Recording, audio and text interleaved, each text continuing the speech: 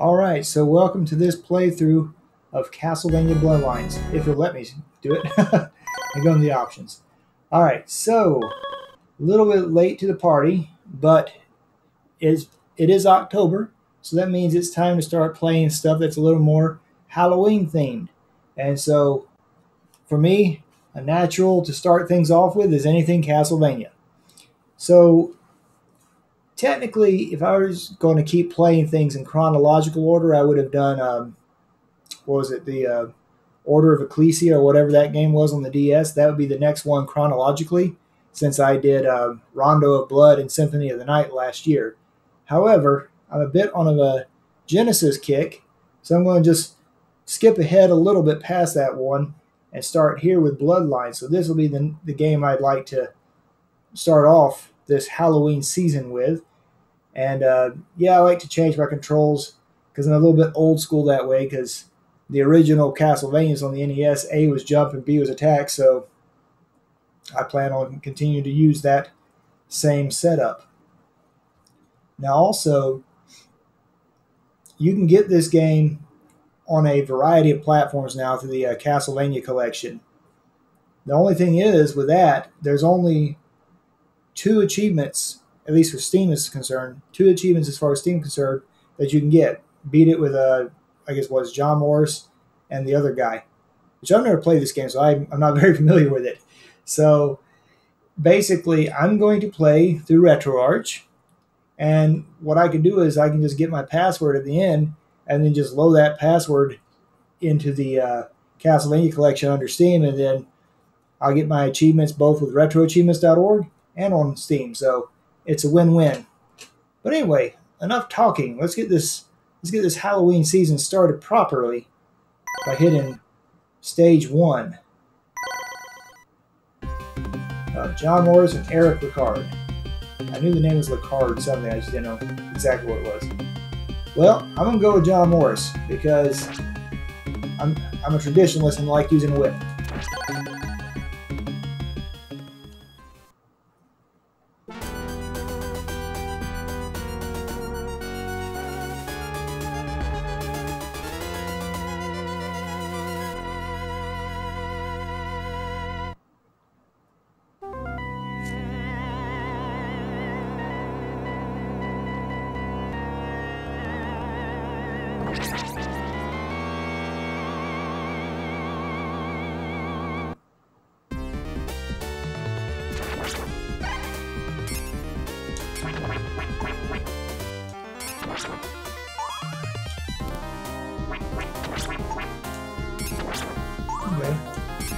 Has the uh,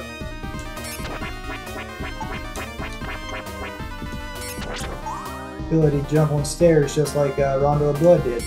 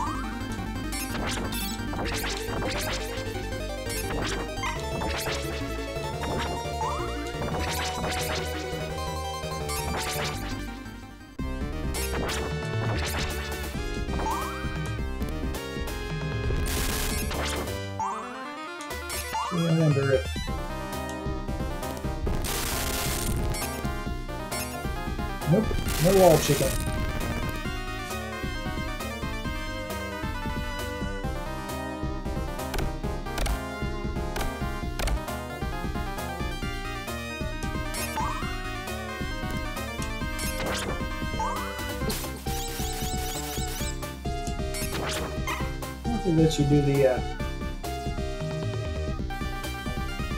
additional up and B.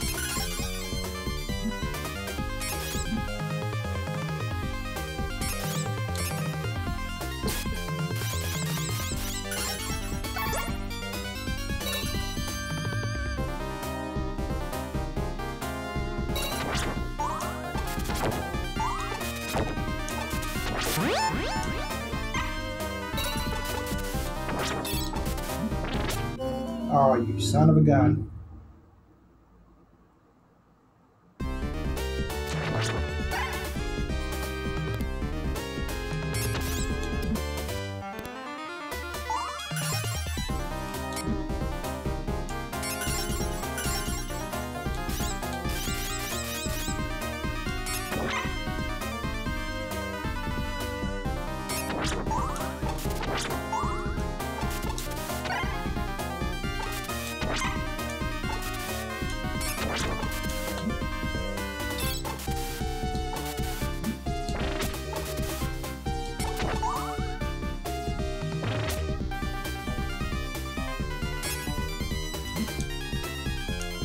I'm starting off crappy, aren't I?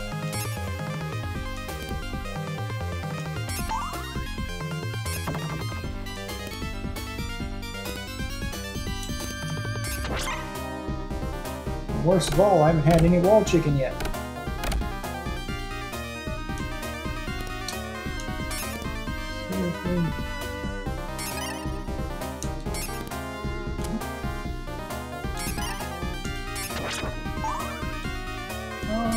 Oh,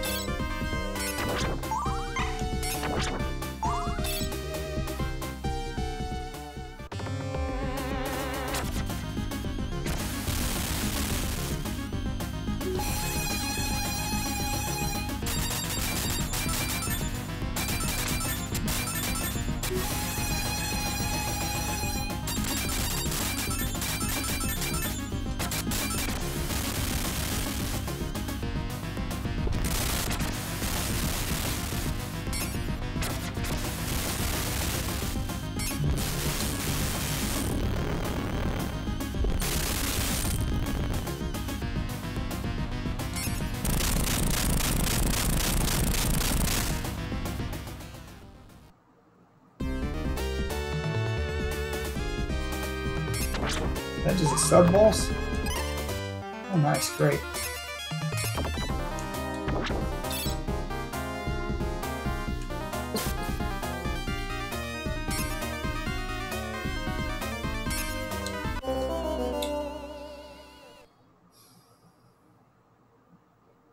Okay.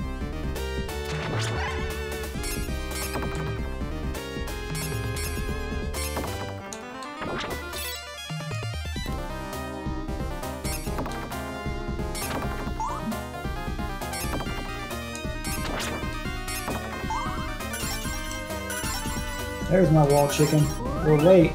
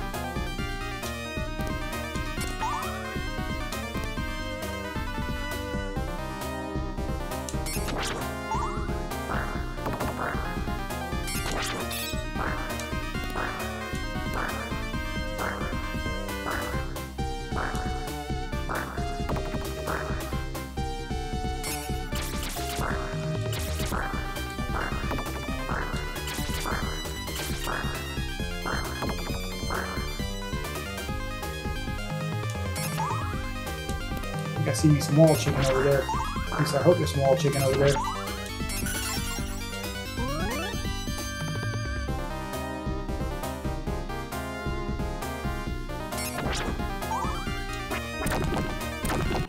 Oh.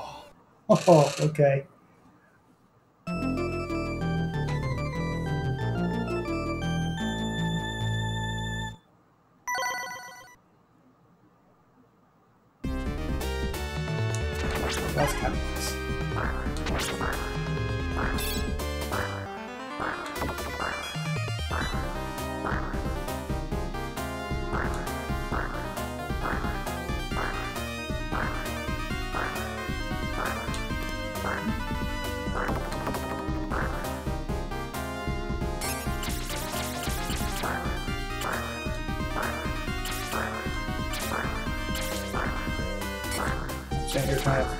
Throw an axe and I don't have an axe.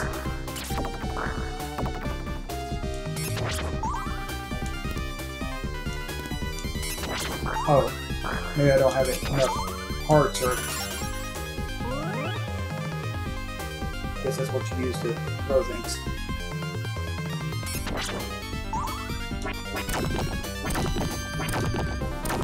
Swing of crows.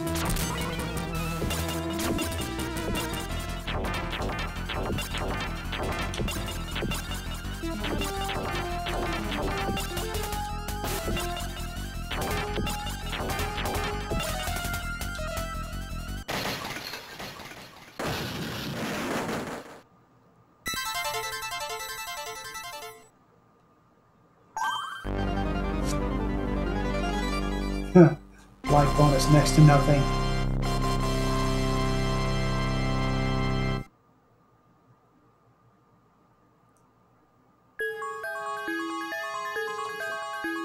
picture of this. Okay, so here's what I'm going to do for the uh, sake of brevity. I think there's only really uh, six stages or so in this game. So what I'm going to do is I'll do one game and then, uh, you know, then do another video for each different stage, basically, to kind of, um, you know, not make this a super long playthrough or anything, you know, all at once kind of thing. So this will be just the first stage. Um, might do a little bit of editing to get rid of my, you know, the whole game over thing, just to kind of make it very sequential for the most part. But other than that, that'll do it for this video. Thank you very much for watching. Well, you know what? Let's hit let's hit start. See, there's a cutscene first. Nah, not really.